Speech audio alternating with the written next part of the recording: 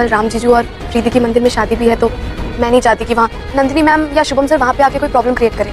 तो please let me know okay okay bye Sandy Sandy सच सच बता। तू श्योर है कि ये सब शुभम ने किया? आयु श्योर फाइनली गाइस अभी अभी हमने आपके साथ एक वीडियो शेयर किया जो कि आप देख पा रहे होंगे कि सैनी ने किरी से बात करते हुए उस गिफ्ट को लेकर जो शुभम ने उड़ाया था।